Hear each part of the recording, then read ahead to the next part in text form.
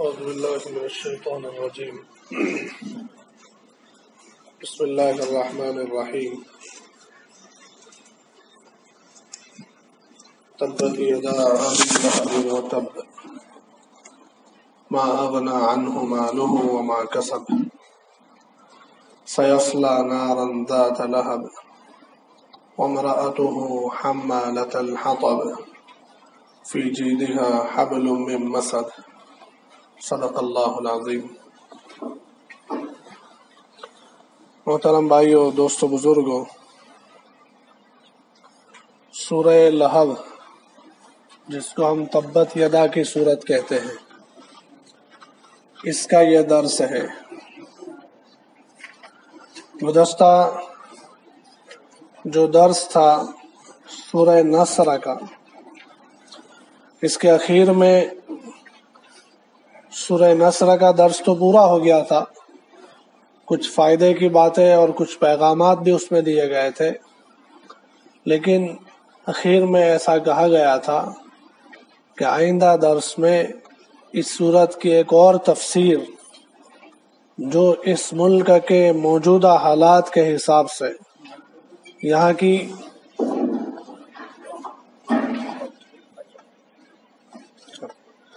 یہاں کی political situation کے حساب سے اس صورت میں ایک اور پیغام بھی تھا۔ اس کے تعلق سے بات کرنے کی بات کہی گئی تھی۔ لیکن کسی وجہ سے اس کو اب مؤخر کیا جا رہا ہے۔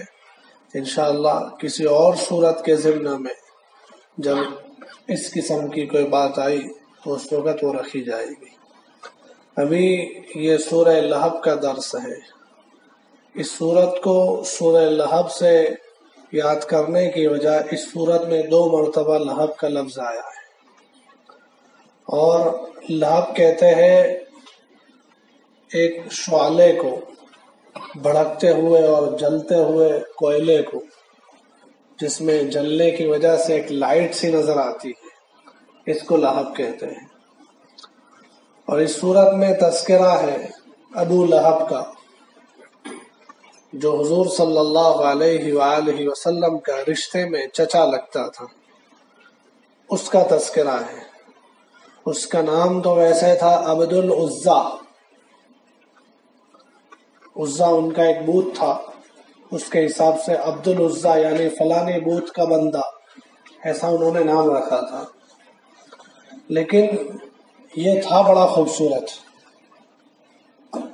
بالکل ایسا خوبصورت کہ سفید اس کا چہرہ اور اس میں بھی وہ تندرست تھا اور ہیلتھی آدمی جس میں خون بھی موجود تھا۔ تو بالکل سفید آدمی اور ہیلتھی ہوتا ہے تو اندر جو خون ہوتا ہے اس کی وجہ سے اس کا چہرہ گلابی گلابی سا نظر آتا ہے۔ ایسا اس کا خوبصورت چہرے کی وجہ سے لوگ اس کو عبد العزا کے نام سے نہیں بلکہ ابو لہب کے نام سے یاد کرتے تھے۔ ابو لہب یعنی بہت زیادہ ہینسم کہہ لیجیے آج کی زبان میں۔ تھا بڑا خوبصورت۔ اور یہ بھی بڑی عجیب بات رہی ہے کہ اللہ کے رسول صلی اللہ علیہ وآلہ وسلم کو نبوت عطا کی گئی اور آپ علیہ السلاۃ والسلام نے جب دین کو پھیلانا شروع کیا، آپ نے اللہ کا پیغام لوگوں کو سنانا شروع کیا تو سب سے زیادہ آپ کو ابتدائی دور میں جس کی مدد ملی زیادہ، جس کی وجہ سے آپ کے مشن کو ایک قوت ملی، وہ بھی آپ کے ایک چچا ابو طالب تھے۔ اور جس کی وجہ سے سب سے زیادہ تکلیف پہنچی، سب سے زیادہ رکاوٹیں آئی وہ بھی آپ کے ایک چچا ابو لہب تھے۔ یہ اللہ کی شان ہے کہ اللہ جسے چاہے خیر کے کاموں میں استعمال کر لے۔ اور اللہ ہماری حفاظت فرمائے، اللہ جسے چاہے شر کے کاموں میں استعمال کر لے۔ اس لیے اللہ سے ہمیشہ مانگنا چاہیے کہ اللہ ہمیں اور ہماری صلاحیتوں کو، ہمارے جان و مال کو خیر کے کاموں کے لیے استعمال کر لے۔ بزرگوں نے دعا سکھلائی ہے۔ پتہ نہیں وہ حدیث میں آئی ہے کہ نہیں آئی، لیکن بزرگوں سے سنی ہوئی ہے اور اس کا مطلب بڑا عجیب ہے۔ فرمایا اللہ مستعملنا دینا۔ کہ اللہ ہمیں دین کے لیے استعمال کر لے۔ اللہ مستعملنا خیرہ یا اللہ ہمیں بھلائی اور نیکی کے کاموں کے لیے استعمال کر لے۔ خیر، اب اس صورت کا بیک گراؤنڈ اور پس منظر، جس کی تناظر میں اور جن حالات میں یہ صورت نازل ہوئی، اس کو ہم سمجھ لیتے ہیں۔ اللہ کے رسول صلی اللہ علیہ وآلہ وسلم کو چالیس سال کی عمر میں جا کر نبوت ملی۔ اللہ کے رسول صلی اللہ علیہ وآلہ وسلم کو حکم ملا کہ پوری انسانیت کو اللہ کا پیغام سنانا ہے، اللہ کا تعارف کرانا ہے کہ کون ہے خالق و مالک اور وہ کیسا زبردست ہے لوگوں کو بتاؤ۔ اور پھر بتاؤ لوگوں کو کہ تمہارا خالق، مالک ایسا زبردست اللہ ہے، اسی کی مانو، اسی کی عبادت کرو۔ یہ لوگوں کو سمجھاؤ، اس بات کا آپ کو حکم ملا۔ تو اس حکم کو پورا کرنے کے لیے اسٹریٹجی جو کہہ سکتے ہیں۔ ہم کام کرنے کی ترتیب اور پدھتی وہ بھی اللہ کی طرف سے ملی۔ کہ آپ پہلے اس طرح سے کام کرے پھر اس طرح سے کرے یعنی اللہ کے رسول صلی اللہ علیہ وآلہ وسلم ٹوٹلی اللہ تعالیٰ کے طرف سے آنے والے انسٹرکشن کو فالو کر کے امت کو اللہ کا پیغام پہنچا رہے تھے۔ اس میں آپ علیہ السلام والسلام کو ابتدائی دنوں میں نبوت کے بعد پہلی جو حکم ملا، وہ تھا وَأَنزِرْ عَشِيرَتَكَ الْأَقْرَبِينَ۔ کہ آپ اپنے قریبی رشتہ داروں کو اور اپنے خاندان والوں کو، ان کو اللہ سے ڈرائیے اور ان کو اللہ کا تعارف کرائیے۔ انزر کا ترجمہ اردو میں ہم لوگ ڈرانا کرتے ہیں، اس لیے کہ اردو ہے ویسے بھی عربی کے مقابلے میں غریب لینگویج۔ عربی بہت امیر لینگویج ہے۔ یعنی اس کے اندر ایک بات کو کہنے کے لیے مختلف الفاظ ہوتے ہیں۔ لیکن ہمارے پاس ترجمے کے لیے نہیں ہوتا، اس لیے ہم کہہ دیتے ہیں کہ بھائی انزر کا ترجمہ۔ انزر کا اصل ترجمہ ڈرانا نہیں ہوتا۔ انزر کا ترجمہ کیا ہوتا ہے کہ جیسے ماں باپ اپنی اولاد کو، اولاد نادانی میں کسی غلط چیز کی طرف جا رہی ہے، تو ماں باپ کس محبت اور پیار کے جذبے کے ساتھ اپنے بچے کو کہتے تھے کہ بیٹا یہ نہ کر۔ اس کو ڈرانا نہیں کہتے۔ اس کو کہتے ہیں شفقت کے ساتھ متنبع کرنا۔ انزر کے اندر یہ چیز داخل ہوتی ہے۔ لیکن اردو کے پاس اتنا سارا، اتنا بڑا کہنا، اس کی وجہ اردو میں کہہ دیتے تھے کہ انزل یعنی ڈراؤ۔ تو اصل مطلب ہوتا ہے محبت اور شفقت کے ساتھ کسی کو کسی نقصان سے آگاہ کرنا تمبی کرنا، بچانا اس کو۔ تو حکم ملا کہ آپ اپنے قریبی رشتہ داروں کو اور گھر والوں کو، ان کو متنوع کیجیے ان کو محبت اور شفقت کے ساتھ نقصان سے بچانے کی کوشش کیجیے جب یہ حکم ملا تو اللہ کے رسول صلی اللہ علیہ وآلہ وسلم نے اس زمانے کا جو میڈیا تھا اس کا استعمال کیا۔ عام طور سے لوگ ایسا سمجھتے ہیں کہ میڈیا کو استعمال کرنا صحیح نہیں ہے۔ حالانکہ ایسا نہیں ہے۔ میڈیا جس زمانے کا جو میڈیا ہے اس کو شریعت کے دائرے میں رہ کر استعمال کرنا۔ اور اس کے ذریعے سے صحیح بات لوگوں تک پہنچانا۔ یہ تو اللہ کے رسول صلی اللہ علیہ وآلہ وسلم نے بھی کیا ہے۔ اگر سارے اچھے لوگ یہ کہہ کر کہ میڈیا بری چیز ہے، اس لیے ہم میڈیا میں نہیں انوالو ہوں گے۔ تو پھر ظاہر سی بات ہے، سارے برے لوگ میڈیا پر قبضہ کر لیں گے۔ اور ایسا ہی ہوا ہے۔ سارے برے لوگوں نے پورا قبضہ جما دیا ہے۔ اب اتنا جھوٹ کو اتنا بار بار بولا جاتا ہے، جھوٹ کو اتنا سجا سجا کر بولا جاتا ہے کہ سارے لوگ جھوٹ کو سچ مانتے ہو گئے اللہ کے رسول صلی اللہ علیہ وآلہ وسلم نے فرمایا تھا کہ قیامت سے پہلے جو فتنے آئیں گے، اس میں علامات قیامت میں ایک چیز یہ بھی ہے کہ جھوٹ کو سچ اور سچ کو جھوٹ سمجھا جائے۔ دیکھ لیجیے آپ، بے درے بالکل سفید جھوٹ بولا جاتا ہے۔ اور بار بار جب ایک چیز کہی جاتی ہے تو چاہے جھوٹ ہوتی ہے، پھر بھی لوگوں کی مینٹالٹی اس کی طرف بنتی چلی جاتی ہے۔ بار بار جب کہی جاتی ہے نا، جیسے وہ چھوٹا سا واقعہ مشہور ہے کہ چار لوگ تھے تھے ڈاکو۔ ان کو کوئی چیز لوٹنی تھی، لیکن سیدھے سیدھے لوٹنے جا رہے تو لوٹ نہیں سکتے تھے، اس لیے انہوں نے ٹرک اپنائی۔ کہ چار الگ الگ جگہ پر کھڑے ہو گئے اور ایک مولے صاحب بکرا لے کر آ رہے تھے۔ مولے صاحب کے ہاتھ میں بکرا تھا، لے کر آ رہے تھے۔ تو پہلے آدمی نے کہا، السلام علیکم مولانا، کیا خیریت ہے؟ کیا بات ہے؟ کتا لے کے جا رہے ہو؟ کتا ہے بکرا ہے، دیکھو تو صحیح تم۔ مولانا ٹھیک ہے، اس نے بات پوری کر دی، مولانا آگے چلے۔ دوسرا ملا۔ ارے مولوی صاحب آپ اور کتا؟ مولانا نے ایک مرتبہ تو دیکھا کہ کہیں بکرے کی جگہ کتا تو نہیں آ گیا۔ پھر کہا، دکھتا نہیں ہے تجھے، بکرا ہے، کتا تھوڑی ہے۔ ارے مولانا، تم کیا کہو؟ کتا لے کے جا رہے ہو اور کہتے ہو بکرا لے کے جا رہے۔ مولانا نے اس کو بھی بگایا اور آگے نکلے۔ تیسرے نے کہا، توبہ توبہ، کیا زمانہ آ گیا؟ مولی صاحب، اگر آپ کتا لے کے جا رہے ہو پبلک کے کیا اثر پڑے گا؟ اب مولانا نے تو تھوڑا ہاتھ لگا کے بھی دیکھا۔ کہ یہ ذرا بولتا کیا ہے؟ بکرے کی طرح سے بولتا ہے، کتے کی طرح سے بولتا ہے؟ اور چوتھے نے تو دور سے کہا، مولانا، کتا آپ کے ہاتھ میں اچھا نہیں لگتا، آپ مجھے دے دو۔ آپ جو کہو گے میں کر دوں گا، لیکن آپ کتا لے کر من چاہیے پبلک کیا سوچتی ہو جائے گی؟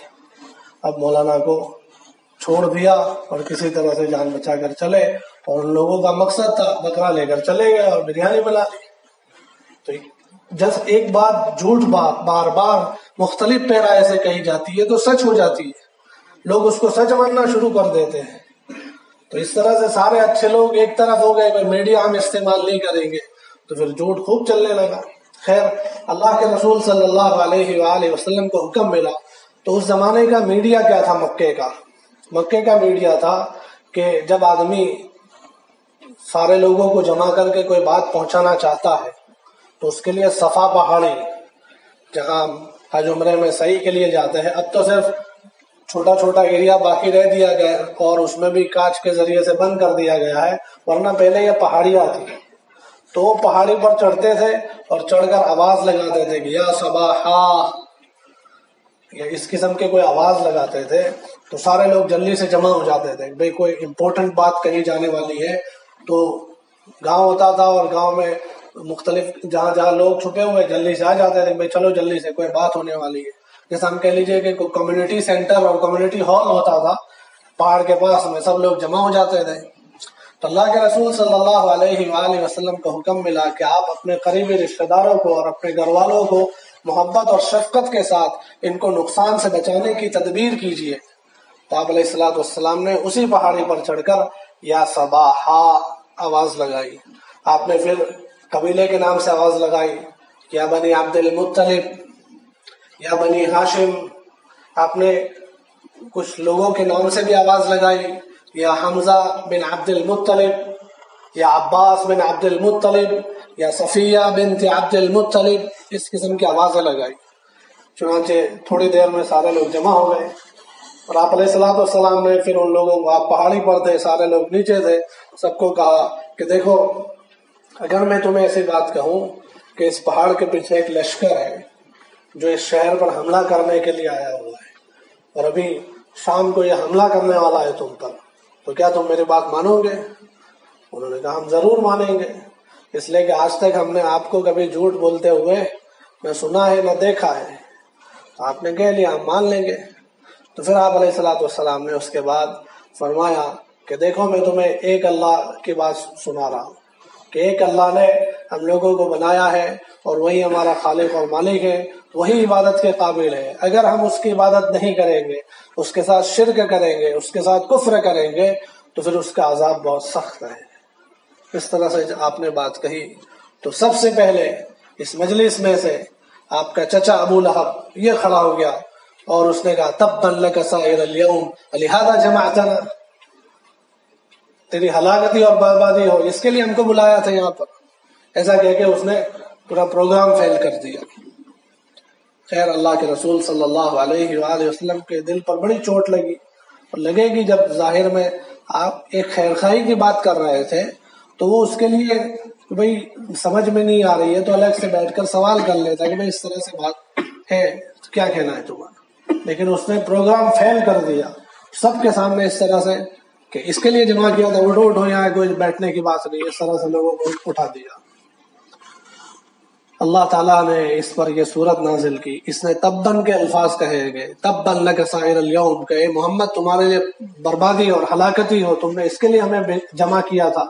تو اس پر اللہ جل شاہ نے یہ صورت نازل فرمائی کہ تبت یدا ابی لہب و تب، کہ ابو لہب کے ہی ہاتھ اور ابو لہب ہی ہلاکت اور بربادی میں جائے۔ وہ تب اور وہ ہو گیا ہلاک۔ ایسا فرما دیا۔ تو اس تناظر میں یہ صورت نازل ہوئی۔ اب کیا ہے اس صورت کے اندر؟ اللہ جل شان فرماتے ہیں، تبت یدا ابی لہب و تب، کہ ابو لہب ہی ہلاک ہو اور برباد ہو اور وہ ہلاک ہو گیا۔ یعنی پہلے بدعا جیسے ہم کہتے ہیں نا کہ وہ آدمی ہلاک ہو جائے۔ تو ایسے بدعا کے الفاظ اور اس کے بعد وہ تب یعنی وہ ہلاک ہو گیا۔ جس وقت یہ صورت نازل ہو رہی تھی، اس وقت تو ہلاک نہیں ہو گیا تھا۔ یہ صورت تو اس وقت نازل ہوئی جب تو بالکل مزے کے ساتھ دندناتا رہا تھا اور اس نے پورا پروگرام فیل کیا ہوا تھا اور پورے مکے میں شور مچا رہا تھا اس کے۔ لیکن قرآن کہہ رہا ہے وہ تب وہ ہلاک ہو گیا۔ یعنی اس کا ہلاک ہو جانا اتنا یقینی تھا جیسے کہ ہو گیا ہو۔ جیسے میں ایسا کہہ دوں کہ صبح ہو گئی، حالانکہ نہیں ہوئی، لیکن یقیناً ہوگی۔ تو اس پر کہہ دیتے کہ ہو گئی۔ جیسے نہیں کہتے کہ سمجھو تمہارا پیمنٹ آ گیا۔ حالانکہ ملا نہیں ہے پیمنٹ ابھی تو کہہ رہا ہے کہ سمجھو صبح میں تمہارا پیمنٹ آ گیا۔ تو ایسے ہی وہ تب وہ یقینی طور پر ہلاک ہو گیا۔ ماں اگنا ان وما کسر اس کو اس کا مال کام نہ آیا اور اس کی کمائی بھی اس کے کام نہ آئی۔ مال اور کمائی ایک تو چیز ہوتی ہے۔ پھر الگ الگ دو لفظ استعمال کرنے کی کیا ضرورت تھی؟ مفسرین نے اس کی یہ وجہ بتلائی ہے کہ مال کہتے ہیں کہ جو آدمی کے پاس اپنا مال، دولت وغیرہ ہے وہ، اور کمائی کہتے ہیں کہ جو اس کو پھر لگا کر اس میں سے کمائی کرتا ہے۔ دوسرا جواب یہ ہے کہ مال تو سارا کمائی کی ہوئی ہے، وہ بھی، اور جو پہلے سے اس کے پاس، باپ دادا کے پاس سے ملا ہے، وہ بھی سب مال ہی ہے۔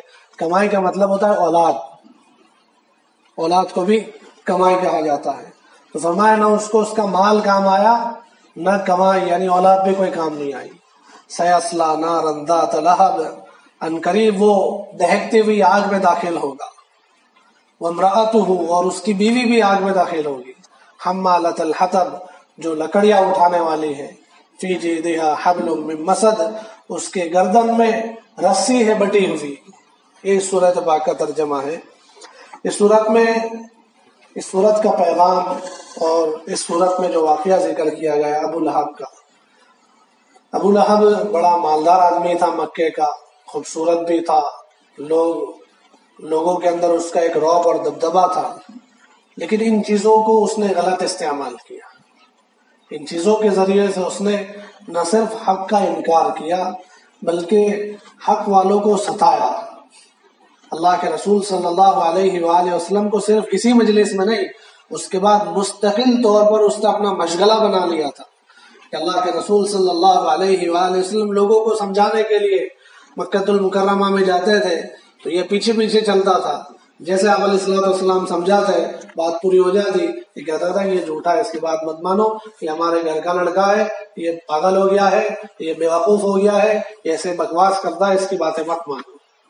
یعنی آپ کی ساری محنتیں چوپٹ کرتا تھا اتنا ہی نہیں، بلکہ اللہ کے رسول صلی اللہ علیہ وآلہ وسلم موقع دیکھ کر جس وقت حج کا زمانہ ہوتا تھا اور لوگ حج کے لیے آتے تھے، اس وقت بھی لوگ سیدنا حضرت ابراہیم علیہ السلام کے زمانے سے لوگ حج کے لیے آتے تھے۔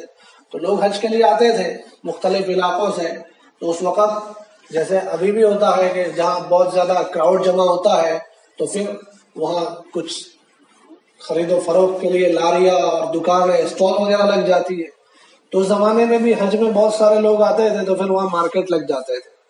جانوروں کے مارکیٹ لگتے تھے، کپڑوں کے مارکیٹ لگتے تھے، ایسے مختلف مارکیٹ لگتے تھے۔ سیرت کی کتابوں میں اس کا ذکر ہے۔ تو ان مارکیٹس میں دوسرے علاقوں سے بھی لوگ آتے تھے، صرف کاروبار کی نیت سے۔ جو لوگ کابت اللہ کو اور اس کے حج کو نہیں مانتے تھے، جیسے ہمارے انڈیا کے لوگ تھے انڈیا کے لوگ اس وقت جس دھرم پر تھے، وہ ابراہیم علیہ السلام کے دھرم پر نہیں تھے کہ وہ حج کے لیے جاتے تھے، لیکن یہاں سے لوگ اس وقت بھی بزنس کے لیے جاتے تھے۔ اور اس میں میلے لگنے والے میلوں میں یہاں انڈیا کے لوگ بھی ہوتے تھے۔ جو یہاں کے کپڑے اور یہاں کا پان اور یہاں کی کچھ چیزیں بیچنے کے لیے جاتے تھے۔ تو ایسے موقع پر اللہ کے رسول صلی اللہ علیہ وآلہ وسلم ان لوگوں کو جا کر اللہ کا پیغام سمجھاتے تھے۔ ان کو اللہ کا تعارف کراتے تھے۔ آپ سمجھتے تھے کہ یہ بہترین موقع ہے کہ لوگ جمع ہے ان کے سامنے صحیح بات کہہ دی جائے۔ تو یہاں پر بھی ابو لہب پہنچ جاتا تھا۔ اور ان کو کہتا تھا کہ بھائی، تم نہیں جانتے یہ ہمارے گھر کا لڑکا مکے کا ہے اور اس کو کوئی یہاں مانتا نہیں ہے اور یہ اس کا دماغ پھر گیا ہے، یہ پاگل ہو گیا ہے۔ اس طریقے سے لوگوں کو کہتا پھرتا تھا۔ یعنی آپ علیہ السلام السلام کو انتہائی تکلیف۔ پھر اس کی بیوی جس کا اس صورت میں ذکر ہے اس کا نام ام جمیل بتایا جاتا ہے۔ ام جمیل۔ اس ام جمیل نے بھی ستانے میں کوئی کسر نہیں رکھی۔ اپنا شوہر کا ساتھ دے کر یہ بھی جس کو آگے الحطب کہا گیا، لکڑیاں اٹھا کر لاتی تھی۔ اس کا مطلب یہ ہے کہ وہ جنگل میں سے کانٹے دار لکڑیاں جس میں کانٹے ہوتے تھے، وہ لا کر رات میں اللہ کے رسول صلی اللہ علیہ وآلہ وسلم کے راستے میں بچھا دیتی تھی۔ تاکہ کسی طرح سے یہ زخمی ہو جائے اور یہ محنت کے لیے نہ جا سکے۔ تو انتہائی طور پر اس نے تکلیفیں پہنچائی۔ اللہ کے رسول صلی اللہ علیہ وآلہ وسلم کو۔ تو پھر اس کی ہلاکت اور بربادی کا انجام اللہ جل شانو نے قرآن کریم میں اتارا۔ حالانکہ اور بھی دشمن جو تھے، ابو جہل تھا اور اتبا تھا اتبا تھا۔ ان لوگوں کا بھی خطرناک حشر ہوا، لیکن ان کو قرآن میں ذکر نہیں کیا۔ لیکن ابو لہب نے بہت زیادہ ستایا تھا۔ سامنے، سب کے سامنے اس نے اللہ کے رسول صلی اللہ علیہ وآلہ وسلم کو ذلیل کیا تھا اور پھر یہ گھر کا آدمی تھا۔ تو اس کی وجہ سے آپ علیہ السلاط اسلام کے لیے بہت زیادہ رکاوٹ بنا ہوا تھا تو اس کی بربادی کا انجام قرآن کریم میں ذکر کر کے قیامت تک آنے والے انسانوں کو خاص طور سے بتلا دیا گیا۔ کہ اگر تمہارے پاس مال ہے، تمہارے پاس خوبصورتی ہے، تمہارے پاس روب ہے، تمہارے پاس پبلک پاور ہے، تو اس کو غلط استعمال نہ کرنا۔ جیسے ابو لہب نے غلط استعمال کیا، تو اس کا انجام بہت برا ہوا۔ وہ ہلاک اور برباد ہو گیا۔ کیسے برباد ہوا؟ اس کو ایک فنسی اور دانا لگ گیا۔ اس کے جسم میں ایک فوڑا ہو گیا۔ اور یہ اس زمانے میں اس کو اداسا کہتے تھے عرب کے لوگ۔ اور عرب کے لوگ اس کو چیپی روگ سمجھتے تھے کہ بھائی ایک کا روگ دوسرے کو لگے گا، دوسرے کا تیسرے کو لگے گا۔ جیسے اس کو یہ دانا نکلا، تو اس کے بیٹے، اس کے گھر والے، اس کی بیوی ام جمی سب نے پکڑ کر اس کو ایک ایسے گھر میں جس میں کوئی نہیں جاتا تھا، وہاں جا کر چھوڑ کے آ گئے۔ اب اس نے وہاں وہاں چھوڑ دیا، تو اور دانے نکلے، پورا جسم میں دانے دانے ہو گئے۔ اس کو ڈھنگ سے کھانا بھی نہیں پہنچاتے تھے۔ پہنچا جو جا رہا ہے غلام پہنچانے کے لیے، وہ بھی باہر سے اس طرح سے پلیٹ پھینک کے چلا جاتا اور اس طرح دور سے پہنچا رہا۔ چند دنوں کے اندر پورے جسم میں بیماری پھیلی اور یہ وہیں مر گیا۔ سسکتا سسکتا۔ نہ اس کی اولاد اس کے پاس گئی، نہ اس کا مال اس کو کام آیا، نہ اس کی وجاہت اس کے کام آئی، نہ اس کی چودراہٹ اس کے کام آئی۔ بیٹے تک بھی اس کے پاس نہیں گئے۔ اس کی بیوی جو پوری زندگی ان تکلیفوں دینے میں اس کا ساتھ دیتی تھی، وہ بھی نہیں گئی۔ یہاں تک کہ وہ مر گیا، مرنے کے بعد تین، چار دن ہوئے، اس کی لاش میں سے بدبو پھیلنے لگی۔ لوگوں نے کہا کہ تم کیسے لوگ ہو؟ تمہارے باپ کے پاس زندگی میں تو نہیں گئے، مر گیا تو اب تو اس کا انتظام کرو۔ لیکن جاوے کون؟ ایسی بدبو میں، ایسی خطرناک حالت میں۔ تو انہوں نے چند ہفشیوں کو پیسے دے کر، غلاموں کو طے کیا کہ تم جاؤ، اس کا، تمہیں جو سمجھ میں آؤ، اس طریقے سے اس کا نظام کرو۔ ہفشیوں نے بھی دیکھا کہ تو انہوں نے اپنے چہرے وہرے پر جیسے ماسک پہنتے ایسے ماسک پہنا لکڑیاں لی اور لمبی لکڑیوں سے دور سے اس کو دھکیلتے ہوئے اس کی لاش کو ایک کھڈے میں پھینک دیا اور اوپر سے پتھر مار کر اس کو بند کر دیا۔ ایسا بھیانک انجام اس کا سارے مکے کے لوگوں نے دیکھا۔ اسی طرح سے اس کی بیوی ام جمیل، جو ستانے میں وہ لکڑیاں اور کانٹے دار لکڑیاں اتنی زیادہ اس کو اللہ کے رسول سے نفرت تھی کہ خود اٹھا کر لاتی تھی۔ حالانکہ مالدار گھرانے کی تھی یہ۔ چاہتی تو نوکروں کے پاس سے بھی یہ کانٹے دار لکڑیاں منگا سکتی تھی، لیکن خود جاتی تھی لینے کے لیے۔ اور لے کر اس کا گٹھر بنا کر لاتی تھی، رسی سے باندھتی تھی اور وہ رسی یہاں پر باندھتی تھی۔ جیسے عام طور سے مزدور لوگ، جیسے چائے کے باغ میں ہوتا ہے نا، یہاں بھرایا ہوا اور پیچھے پورا تھیلا جس میں چائے بھر رہے چائے بھر رہے، اس طریقے سے لکڑیوں کا گٹھر یہاں بھرا کر لاتی تھی۔ اب ایک دن اس طرح سے لے کر آ رہی تھی، راستے میں تھکی، پتھر پر بیٹھی، اور بیٹھی تو کیا بیٹھی؟ کہ وہ رسی یہاں سے گلے میں آ گئی اور پھندا لگ گیا، خود کے وزن کا پھندا خود ہی کو لگ گیا، اور وہیں اس کی جان نکل گئی۔ اس طرح کے خطرناک اس کی بھی موت آئی۔ پھر اور انجام جس کا اس صورت میں ڈائریکٹلی ذکر نہیں ہے، لیکن انڈائریکٹلی ذکر ہے کہ ما اغنا عنہ مالہ و ما کسب، کہ اس کا مال بھی اس کے کام نہیں آیا، اولاد بھی کام نہیں آئی۔ اولاد کیا کام آتی؟ جیسے یہ صورت نازل ہوئی، اس صورت کے نازل ہونے کے بعد ابو لہب نے جب سنا کہ بھئی تمہارے متعلق تو قرآن میں سے صورت آئی ہوئی ہے، تم ہلاک اور برباد ہو جاؤ گے۔ تو اس نے گھر آ کر اپنے دونوں بیٹوں کو، ایک کا نام اتبا تھا، ایک کا نام اتبا تھا۔ اور ان دونوں بیٹوں کے ساتھ اللہ کے رسول صلی اللہ علیہ وسلم کی دونوں بیٹیوں کا نکاح ہوا تھا۔ رشتے دار لوگ تھے یہ پہلے سے۔ اور اللہ، ابھی اللہ کے رسول صلی اللہ علیہ وسلم پر نبوت بھی نہیں اتری تھی۔ اس وقت اللہ کے رسول صلی اللہ علیہ وسلم نے ابو لہب کے دو بیٹے اتبا اور اتبا کے ساتھ اپنی دو بیٹیاں، ام کلثوم اور رقیہ کا، ان دونوں کا نکاح کیا ہوا تھا۔ صرف نکاح ہوا تھا، رخصت ہی نہیں ہوئی تھی۔ اور جب یہ صورت نازل ہوئی تو اس نے دشمنی نکالنے کے لیے اپنے بیٹوں کو کہا کہ اگر تم میرے بیٹے ہو، تم مجھ سے اپنا تعلق باقی رکھنا چاہتے ہو، تو ان دونوں کو ایک ساتھ طلاق دے دو۔ دے دی۔ اتبا نے تو فوراً دے دی طلاق اور چلتا چلتا کیا، صرف طلاق پہنچانے کی تھی رخصتی تو ہوئی نہیں تھی۔ اتبا نے صرف اتنا نہیں کیا اتبا گیا اللہ کے رسول صلی اللہ علیہ وسلم کے سامنے اور سامنے طلاق دی کہ تمہاری بیٹی کو طلاق دیتا ہوں اور ساتھ میں اس نے کب وقت نہیں اللہ کے رسول صلی اللہ علیہ وسلم پر تھوکا۔ اللہ کے رسول صلی اللہ علیہ وآلہ وسلم نے اس وقت آپ کے دل پر بہت زیادہ چوٹ لگی تو زبان سے ایک لفظ نکل گیا کہ اللہ صلی علیہ من کلابک، کہ اللہ تیرے کتوں میں سے ایک کتا اس پر مسلط کر دینا بس کا آپ کا اتنا کہنا ہی کافی تھا۔ جب دل پر چوٹ لگتی ہے نا، کسی بھی آدمی کو، ایک نارمل آدمی کو یہاں تک کہ اللہ کے رسول صلی اللہ علیہ وسلم نے فرمایا، اتقی دعوت المظلوم، فإنه بينه وبينها ليس حجاب۔ اس قسم کے الفاظ ہیں کہ مظلوم آدمی کی آہ اور بددعا سے بچو۔ اس لیے کہ جس کے ستایا جاتا ہے اس کے دل سے جو آہ نکلتی ہے، اس کے اور اللہ کے درمیان میں کوئی راستہ نہیں ہوتا، سیدھی اللہ کے عرش پہ جا کے پہنچتی ہے۔ تو یہ تو اللہ کے رسول سے اور اتنا دین کی خاطر آپ کو ستایا گیا تھا۔ صرف اتنا سا جملہ اتنا اثر کر گیا کہ وہ پوری زندگی ڈرتا رہتا تھا۔ کہ مجھ پر کوئی آفت آ جائے گی، عذاب آ جائے گا۔ یہاں تک کہ ایک مرتبہ ملک یہ لوگ تاجر تھے، جیسا کہ سورہ قریش میں ہم سن چکے ان کے بزنس کے لیے ٹرپیں چلتی تھی، ملک شام جاتے تھے، یمن جاتے تو ملک شام ایک تجارتی سفر تھا، جس میں یہ اتبا بھی تھا اور اس کا بھائی اتبا بھی تھا اور دوسرے لوگ بھی تھے۔ اور یہ تجارتی سفر تھا، ایک جگہ راستے میں پڑاؤ کا موقع آیا۔ تو اس وقت اس کو خیال آیا کہ یہاں پڑاؤ کر رہے ہیں اور محمد کی بدعا صلی اللہ علیہ وآلہ وسلم کہ کہیں اس کی وجہ سے مجھ پر کوئی آفت نہ آ جائے۔ اس نے اپنے ساتھیوں سے اس کا نشہ ظاہر کیا۔